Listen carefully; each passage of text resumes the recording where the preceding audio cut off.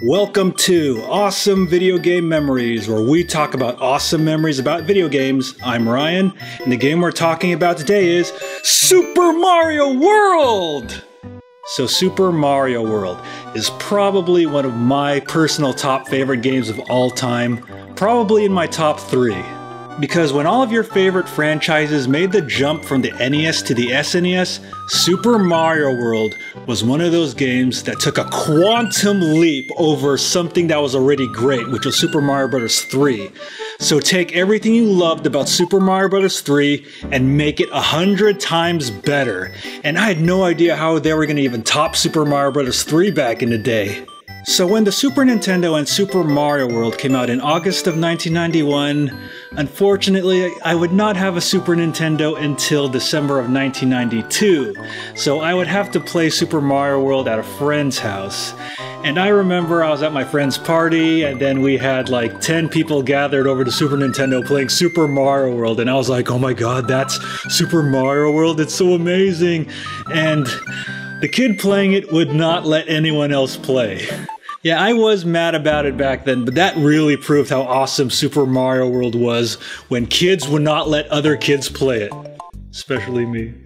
And all my friends at school would talk about it, especially about Yoshi, the dinosaur, and I was like, Yoshi? Like you mean Yoshi? Uh, like Hamato Yoshi from Ninja Turtles? No, Yoshi, the dinosaur that Mario rides in the game. Have you played it, Ryan? Not yet. And then I remember Easter vacation of 1992 when I was in the fifth grade. You know, Easter vacation, and then you high schoolers and college students call it spring break. And then us working people call it another work week. So I remember going to a Ma and Pa video rental where you can rent the Super Nintendo with any game you want for about a weekend. So when I rented that thing and I hooked it up to my TV, I was playing till 2 in the morning. And then my dad came down and said, Go to sleep. So the Super Nintendo was my first experience going through a console jump. And like I said before, everything I loved about Super Mario Bros. 3 was enhanced by like a thousand, no, I mean like a million. Like, holy shit, the graphics were better, the gameplay was better, the levels, the depth, I mean, everything was better. So in Super Mario Bros. 3, you had 8 different worlds. But now in Super Mario World, you have 8 different worlds, but they're all interconnected together and you can go back and forth between them. Like, I was really blown away that they did a world map, kind of like Zelda, but in Mario style. I mean, this is awesome! So I remember playing that first level and being totally blown away that I had a controller with six buttons. Like, holy crap. It was like a big jump from the four buttons on the NES. I can totally like spin jump, I can store items in the top, and then like the graphics were like, whoa. I mean, the graphics by today's standards aren't that great, but wow, the graphics were like a huge jump from Super Mario Bros. 3. So I remember seeing the Banzai Bill being blown in my face. I was like, oh shit, what do I do? And I didn't realize you had to duck inside that hole. So I got killed by that the first time. So I remember the second level on the island where you get Yoshi and then you have to kick the Koopa shell and then it knocks all those other Koopa shells, giving you an extra life. And then you can control Yoshi. Then you can eat everything. You can eat the fire flowers, you can eat the Koopas and spit their shells out. You can eat the Goombas and then you can uh, eat the moles. And then there's a charging chuck at the end of the level. Hey, there's football Koopas now. Touchdown! So I remember the first castle where you fight Iggy Koopa, and then you jump on those fences, and you can actually knock the Koopas into the lava and see them fall in. Wow, it looks kind of morbid actually. And I also do remember the fortresses and the Koopa Kids were definitely a lot harder in this game than they were in Super Mario Bros. 3. I remember Morton Koopa Jr. and Ludwig von Koopa and Roy Koopa would like go on the walls and then drop down and then if they hit the ground like there would be like an earthquake. And I remember Lemmy Koopa and Wendy Koopa had the pipes and you had to guess which one they would come out of. Larry and Iggy were basically the same but they were actually a little harder to beat than they were in Super Mario Bros. 3. Like you couldn't just beat them by hopping on them three times. You had to knock them into the lava and especially Larry was hard to hit. And if Larry's fortress wasn't hard enough already. And the biggest power up that everybody remembers about this game is the feather that gives you the cape. So I remember getting the cape to fly like the raccoon tail in Mario 3, but I remember having a lot of trouble like going down, then using the air current to bring myself back up so I can kind of fly forever. But once I got good at that, the game was just so much more fun, and a lot of levels were easy to beat once you actually knew how to fly with the cape. I remember getting the secret level in Soda Lake where you had to fly under the bridge with all the buzz saws, but most of the time I would get that secret with Yoshi. I would kind of just be an asshole. I would have Yoshi fly down, then I would sacrifice him, and then I would jump on the platform. But then I got good enough at the game to fly under it, and that was a huge sense of accomplishment. So let's talk about the level design in this game. Now, I thought the level design in Super Mario Bros. 3 was ingenious. It was very innovative, very awesome, and then they took that a step further. Like, you know, we had side-scrolling levels. We had, and like the ghost houses where you had to fight giant boo ghosts. Like, you couldn't solve these levels straightforwardly like the rest of the levels. You had to find ways to find other doors in order to beat them, and they definitely weren't as straightforward, but solving them was actually really fun. And just like the previous game, yes, the boos are back. Where you stare at them, they won't attack you, but if you stare away, they're gonna attack you. And I also remember the fortress levels where you fight the Reznors at the end. Like, I didn't know how to beat these things at first. I tried to jump on top of them, I couldn't beat them that way. I tried to shoot fireballs at them, I obviously couldn't beat them that way, but then I discovered, oh, you had to hit them from the bottom. Well, that's not really self explanatory.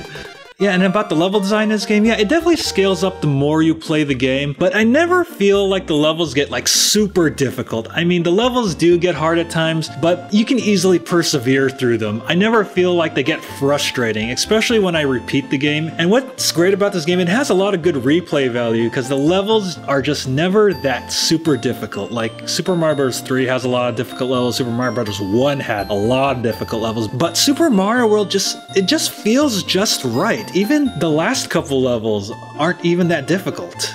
And one of my favorite things about this game, when you defeat one of the Koopa kids, Mario destroys their castle in like one of the funniest, unique ways. And my favorite one was when he tried to use the dynamite on that one castle and it blows up on him. I remember like laughing my ass off so much during that one. And I definitely remember discovering the Star World and the Special World. And the Special World was awesome because you can just kind of wait there and hear the original Mario Brothers theme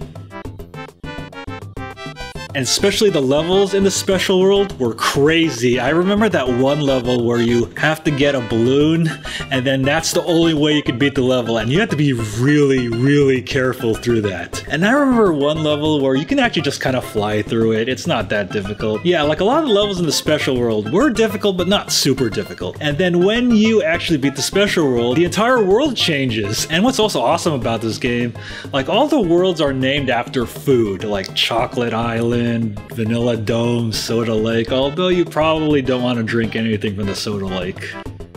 Especially Rip Van Fish. Fuck that guy. And also what was kind of funny about this game, I remember trying to get all 96 goals, but I would always end up with 87 for some reason. But then I realized, oh wait, I have to beat the Star Worlds normally. Yeah. I didn't discover that for the longest time. And also remember, the sunken airship was actually pretty creepy. And I don't remember any of the airships sinking in Super Mario Bros. 3, but I guess they just did. Now let's talk about Bowser's Castle and the final battle with Bowser. Now Bowser's Castle, I remember the first door I would go in would actually be that door where you had all the Koopas on the fence and then you get past them. And then I would always go in the fifth door where the spikes come down. Although at first I would go through the charging Chuck door for some reason. I have beaten all the doors, but I'd rather go through the easy ones, to be honest. And it's kind of cool. You get to see the ninjas from Super Mario Bros. 2 right before you fight Bowser. Then, the final battle with Bowser, and now, if you thought the battle with Bowser at the end of Super Mario Bros. 3 was intense, this one makes that one look like a cakewalk. Now, what's actually cool about this battle is that they get rid of all of the stuff at the top, like your score and the timer, except for your reserve item, and it really feels like you're alone like alone fighting Bowser at the top of his castle just by yourself like there's nobody there to help you like Mario's like Alright, I'm going to face Bowser by myself.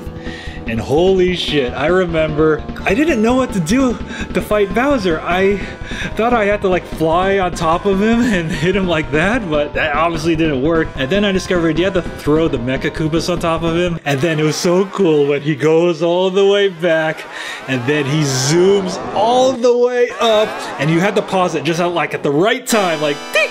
And then the fight gets even more intense, like Bowser throws like a giant bowling ball. And then after that, his clown car gets all pissed off and and starts stomping all over the place. They're like, holy shit! But then you beat Bowser, you rescue the princess, and then the ending was really cool. You could see Mario traversing through all the worlds with the princess riding on Yoshi with that really awesome tune.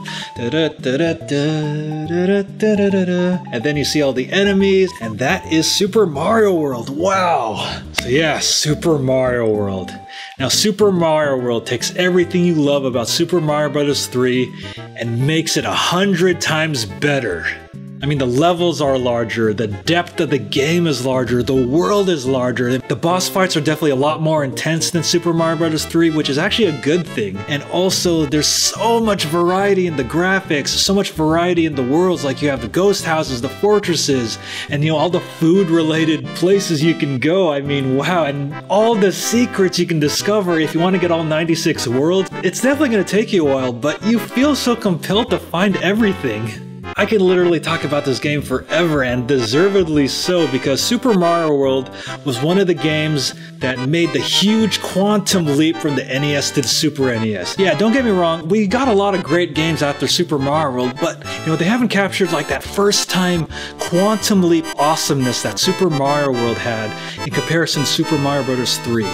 So where can you get this game? Actually, where can't you get this game? You can get this game on the Virtual Console for the Wii, the Wii U, or the 3DS. I definitely recommend getting it on the new 3DS so you can play it on the go. And also, there's a really awesome Game Boy Advance version too. Yeah, so that wraps up this episode of awesome video game memories about Super Mario World. And if you have any memories about this game, make sure to leave those in the comments below. Take care! Having fun? Well, you guys should totally go check us out at twitch.tv slash battlegeekplus. Please support us at patreon.com slash battlegeekplus.